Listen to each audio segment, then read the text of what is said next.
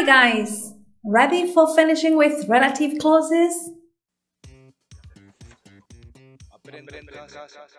This video will shed light on the following issues. The first point is when do we omit the relative pronoun? The second one, when do we use whom? And the third one, the use of prepositions with relative pronouns. In case you have any doubts about the use and form of relative clauses, have a look at the first video to clarify some aspects.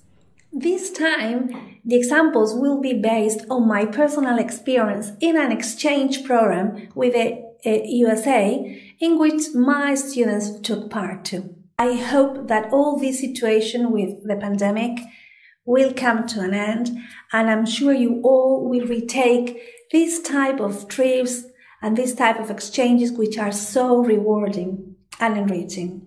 So this is my little tribute. Let's start with the first point. When can I omit the relative pronoun?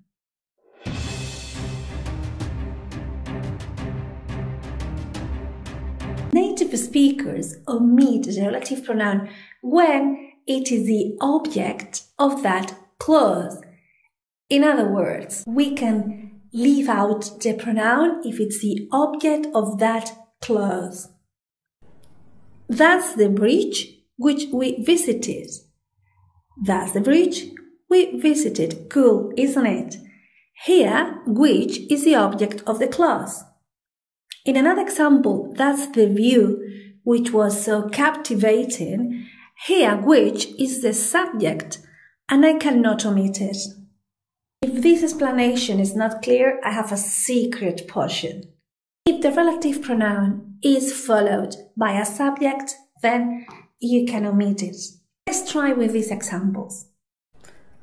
The place that I love the most is this hectic part of Times Square. That is followed by I, subject, so I can omit it. Whereas in the square, which is shown in this picture, is one of the iconic places in France, which in this sentence is followed by a verb, is shown, so I cannot omit it. Non-defining relative clauses, I cannot omit a subject. The Statue of Liberty, which is one of the most visited monuments in New York, is my favorite one. Or Alice in Wonderland fountain, which was donated by George Delacorte, was a gift to the children of New York City. Did you know that the monument was created by a Spanish-born American sculptor and friend of Picasso, José de Creeft? Our second point is when do we use whom?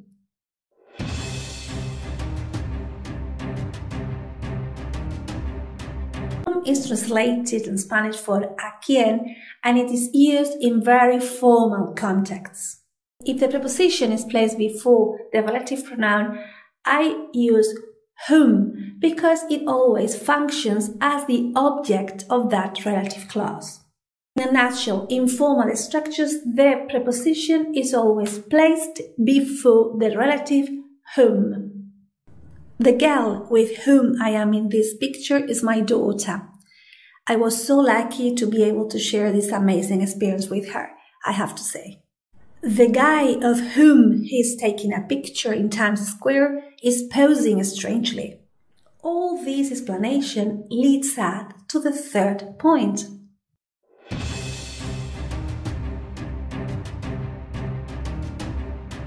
How do I use relative pronouns with prepositions? In whom or which have a preposition, the preposition can come at the beginning of the clause, like in we used the snow with which we draw the name of our school. Or at the end of the clause, we used the snow which we draw the name of our school with.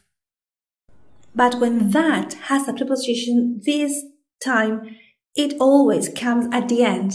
I will never forget the skyscraper that I got that view from. When speaking, if the verb in the relative clause needs a preposition, we put it at the end of the clause and the relative pronoun is omitted.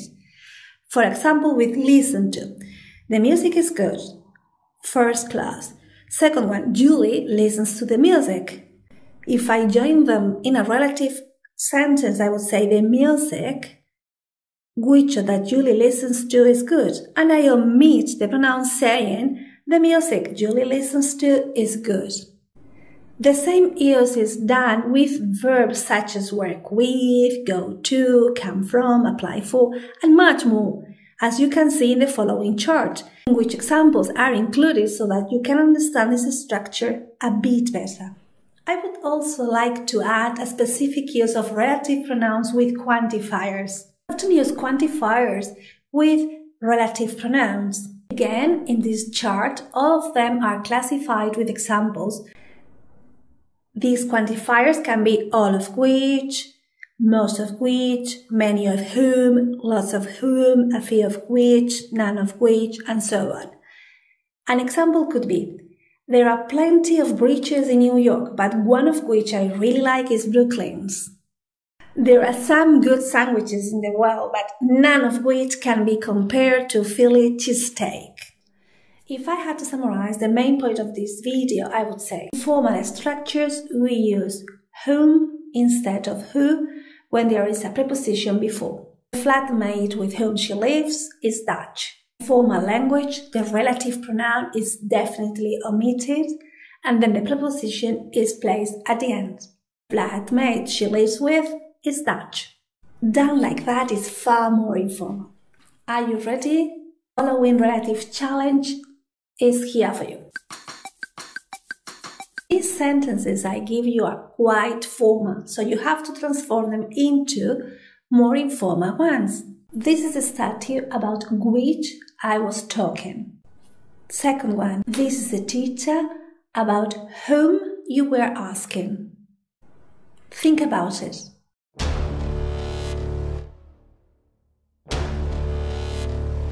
Usual, you rock. These are the answers.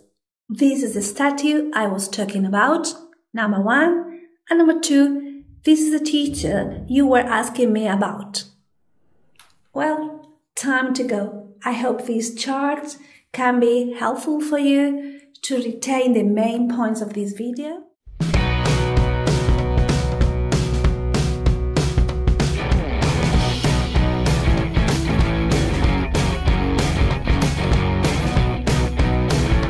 Posted with other videos and more material in our webpage Aprendo en Casa Región de Murcia.